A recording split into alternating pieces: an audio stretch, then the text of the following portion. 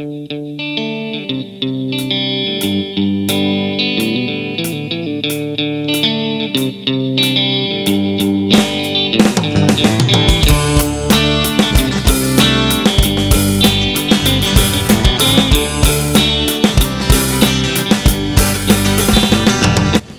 Valmessa Graffiti, Memorial Henry Toivonen. Siamo in compagnia di Claudio Villa, che è un collaboratore e speaker dell'organizzazione. Claudio, vuoi dirci tu, praticamente non hai, non hai mancato neanche un'edizione del Valmessa Graffiti?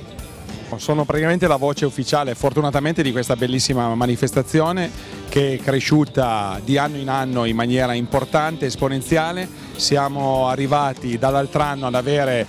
il due volte campione del mondo Miki Biasion eh, fra i nostri apripista. Claudia Peroni, la regina dei box, è stata ed è ancora anche quest'anno fra le nostre apripista d'eccezione. Abbiamo Harry Toivonen, il fratello del compianto Henry Toivonen, pilota lancia, che quest'anno ha deciso di portare un trofeo esattamente dalla Finlandia, un trofeo vinto, questi sono i motori che sentite oggi è una festa dei motori, abbiamo le mini moto, abbiamo i go-kart, abbiamo il drifting, abbiamo veramente tante cose. Tra l'altro quest'anno la possibilità di girare in questo magnifico cartodromo, siamo ospiti della famiglia di, di, di Piero e veramente eh, abbiamo potuto diversificare per il primo anno il Valmessa Graffiti in queste tre sfaccettature. Un classic che è quello che praticamente è giunto alla settima edizione, un Expo per gli appassionanti delle macchine d'epoca, dei gioielli da, a, da esposizione e purtroppo da non andare a rischiare sulle strade del, del Classic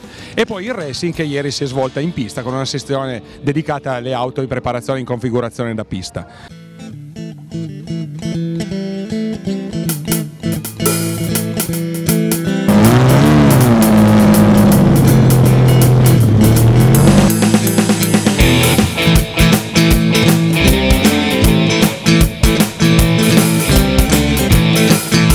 Siamo contentissimi, anche quest'anno l'annovero dei partenti ci conta un circa 140 unità che è il massimo di quello che ci consente anche la viabilità stradale, i comuni che ringraziamo perché anche quest'anno sia il comune di Villardora, il comune di Buttigliera Alta per la prima volta eh, ci hanno dato una grande mano eh, che dire, mh, direi di andare, di invitare tutti gli appassionati a seguire la manifestazione su Facebook, a seguire sui canali, su questo canale Cucina che sta, sta prendendo, Cucina Channel che sta prendendo anche una versione e una posizione importante a livello motoristico con un'altra sessione dedicata. Direi di, veramente di andare a vedere su tutti i filmati che riguardano la Valmessa Graffiti e potrete capire di che cosa sono stati capaci gli organizzatori.